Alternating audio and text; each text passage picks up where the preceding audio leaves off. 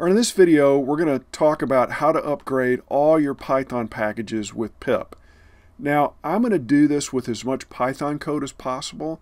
I saw a lot of solutions that involved a lot of command line parameters that didn't work the same on each operating system. So Windows would be different from Linux and Mac. And so let's try to stick to generic Python code here. So we're going to import package underscore resources and also use the subprocesses, which we covered in another video.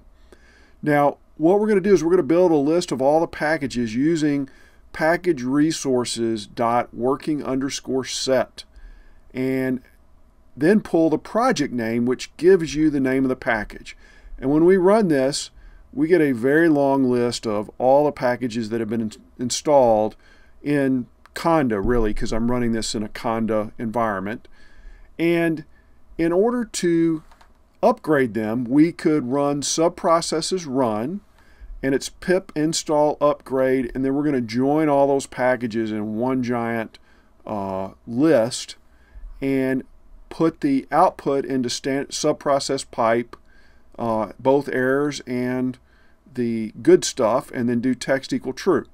Now you could also uh, might have to do sudo here, depending if you need to run this at the uh, super user level, depending on how you installed your Python.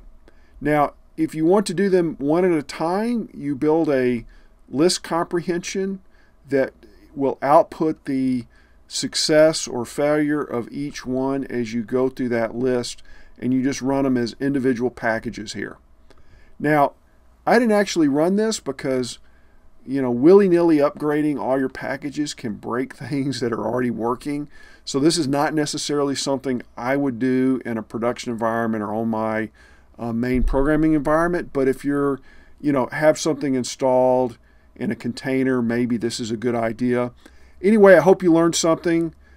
Please subscribe to the channel if you haven't. Smash that like button so I can help more people and build an audience here. And I'll see you in the next one.